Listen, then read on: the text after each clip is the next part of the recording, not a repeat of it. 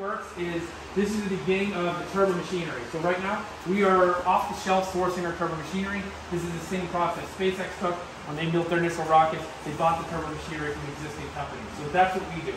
So the air comes into the turbojet, and we do what you do in almost any type of system. We squeeze it, we compress it. Your car, you see your car cylinder compresses. The first thing we need is compression. The next thing that we do is we mix it with fuel and we ignite it, and we get a lot of extra energy. We then blow that air out through a turbine. The turbine spins and it is connected by a rod to the compressor. That's what powers the compressor. That's a traditional jet engine. That's what keeps the system running. And then at that point, you just exhaust out. The thing is, only about 30% of the oxygen is actually burned. 70% of the air coming out of a jet engine tailpipe is oxygen, which we can burn more to. So then what we do is we take that air out, we slow down the speed of it, so that's when we're coming out, and we mix more fuel.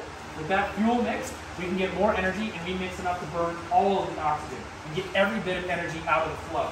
So we ignite it here, we have essentially a combustion chamber, it burns here, and then we have a variable area nozzle, which we use to accelerate the flow out to the max velocity we can get uh, to get the maximum thrust. And that's how an afterburning turbojet uh, works.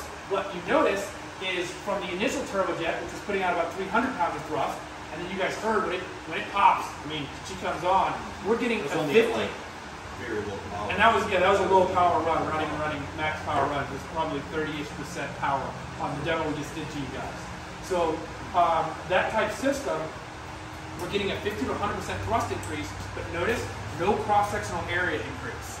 That's why you want it because airplanes, when it comes to drag, they're concerned about cross-sectional area. That's why what does an airline look like? Long and thin. We make airplanes really, really long because the greatest component to drag is the cross-sectional area. So that's why using afterburning turbojet, you essentially drag free, get a 50% increase in your thrust.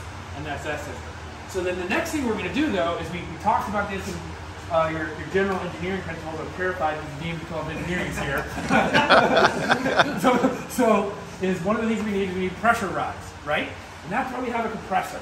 Well, if you've ever driven in a car, you stick your hand outside the car, uh, you can feel that air pressure. And then when you're going down the interstate, you can really feel air pressure. In fact, if you're going about Mach 2, there's so much air pressure that you no longer need the compressor. You are ramming the air in. That's what we call a ramjet. At that point, I don't need this at all. I'm going so fast, there's so much pressure rise, I can get thrust out of it. So then what I do is I'll take this air, I'll route it around the turbojet, back into the afterburner, and then ignite it as a pure ramjet. That's called turbine-based combined cycle. That's the next major uh, step in our tech chart. In fact, that's what that congressional ad is specifically funding, is the hardware that will take the air, route it around, and inject it back in. The good news is that's why this technology is directly relevant to our end goal, because from here to the end does not change. So this is exactly the scaled down version of what we intend to go to space with.